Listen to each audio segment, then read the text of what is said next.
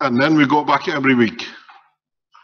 The only thing which is important to remember, which is going to be one of your, not your problem, is this that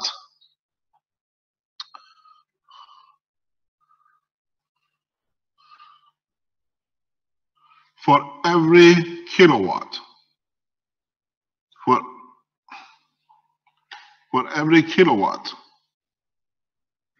you consume, if you set your system the right way, with the right power consumption in the house, you can put up to 8 kilowatt onto the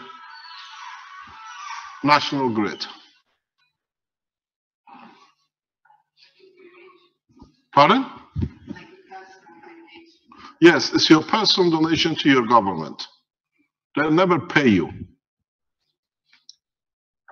The possibility is that if you gear it the right way, you can do up to 200 times per kilowatt.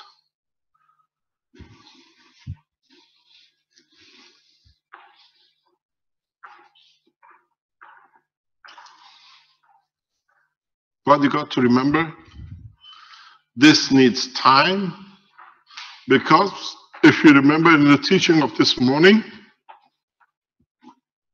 we told you you have to nano coat the wiring in the house. This way, you're nano coating the wiring of the government. Actually, it's not government, it's you, you paid for it. Power lines are national assets, don't belong to no one. If they ask you, why have you done this? This is my share, I paid for it.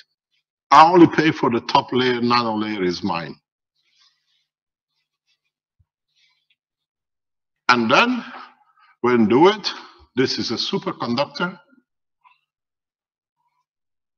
And you find out you'll be neighboring your neighbors and neighbors and the neighbors and the neighbors. You are not releasing AC current into the grid, you are releasing plasma current in the grid.